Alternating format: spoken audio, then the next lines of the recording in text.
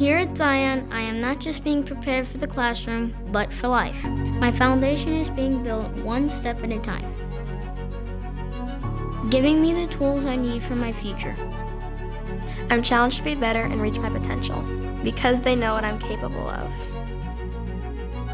And I know that through our hearts, God speaks to us, telling us to trust in Him. Zion gives me the confidence to move on.